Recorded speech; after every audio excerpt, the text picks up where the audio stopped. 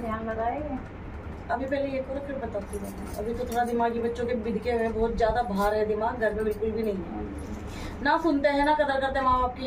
यहाँ से सुनते हैं वहाँ ना कोई डर रह गया।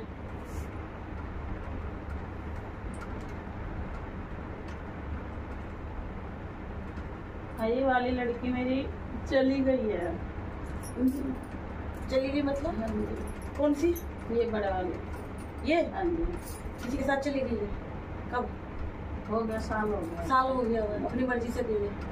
तो ज़ाहिर सी बात है जब बड़े बहन भाई ऐसे तो छोटी वाली को खींच के रखना तो बार सोच ही चाहिए था वो वो भी ज़्यादा बिगड़ चुकी है पहले।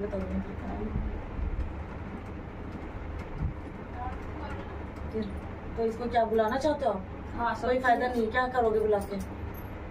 एक साल से बच्ची बाहर रह रही है तो फिर आप क्या सोच रहे हैं तुम्हारी बच्ची आ जाएगी शादी करेंगे? बच्चा भी तो बस तो फिर क्या करोगे फिर?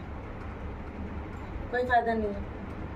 उसकी इच्छा होगी मिलने की तो आएगी। अब तो सिर्फ़ एक माफ़ी के अलावा और कुछ रास्ता नहीं है रिश्ता जोड़ना है।